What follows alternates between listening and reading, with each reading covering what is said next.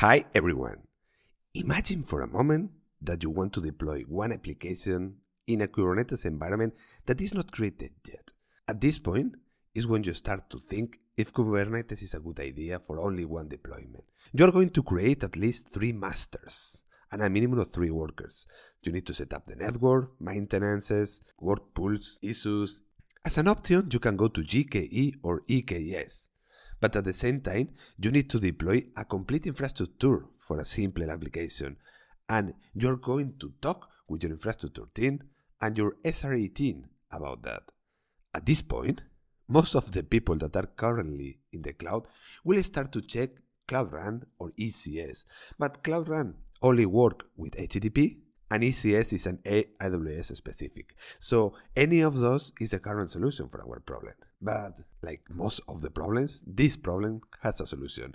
And this solution is in Google and it's called GKE Autopilot. In standard GKE, Google will take care of your master nodes that are working inside a private VPC. But in GKE Autopilot, Google will take care of your workers too. And then you only need to have an entry to Kubernetes API where you will deploy your application. As you will see, the steps are few and simple. You need to go to GKE in your Google console and create a GKE cluster that in this case will be autopilot. Set up your public or private VPC that you want to use and the ranges for the services and pods and the Kubernetes version. And that's all, nothing else. Now we need to connect to the cluster with gcloud CLI. And after that, as you will see, we only need to apply our templates. Now, when you execute kubectl apply, you are not only deploying your application, you are even setting up your application with the workload identity, auto-scaling, security setup, and everything. And everything is done automatically. As you can see, if you execute kubectl get pods minus w, it's going to take more or less one minute to start to create a cluster. And this is only the first time, because what it's doing is deploying the workers and the masters and is assigning the size that you decide we can say bye-bye to the control plane and the workers.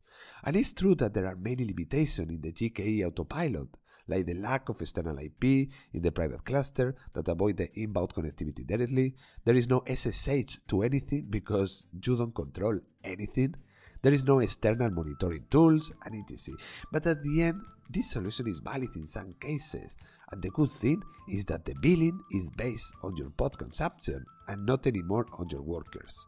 So you know, now you have one more option for your next Kubernetes cluster.